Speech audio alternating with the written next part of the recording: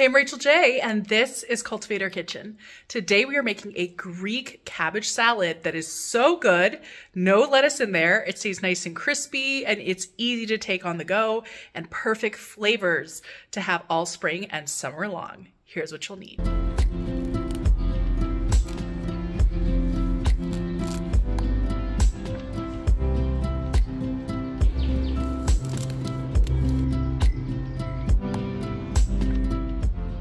Here are all the ingredients that we're going to be using today.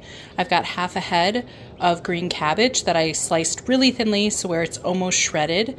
Similarly, I have a quarter of a yellow onion which I've sliced as thinly as possible, two scallions, some garlic chives and parsley, a lemon, sea salt and garlic powder, and a little bit of really good extra virgin olive oil.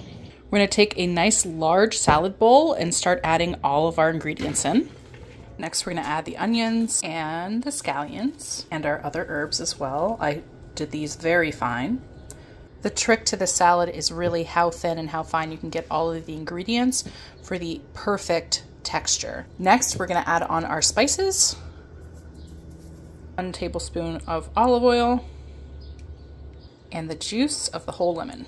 And then you just toss it and mix this really well to get all the sauce incorporated throughout the salad. And the lemon juice will work on breaking down the onions and the cabbage once it's all incorporated.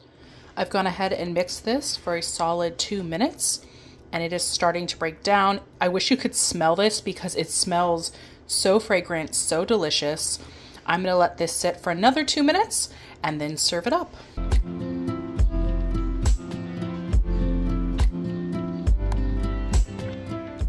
This is ready to serve right away. I love to serve this with crusty bread or a salad or a pasta dish or maybe some pizza.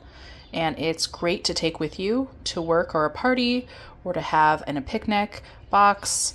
And it's just a very delicious, easy salad to enjoy this time of year.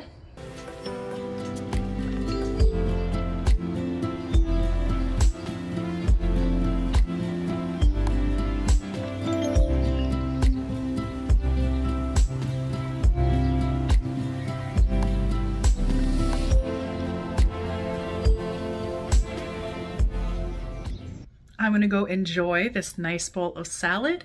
It serves two to three people and it's easy to double if you wanna make a lot more for a lot more folks. And you could also put in a little bit of tahini if you wanted it more of a coleslaw creamy consistency. I hope you guys are gonna love this recipe. Let me know what you think below and I'll see you next time.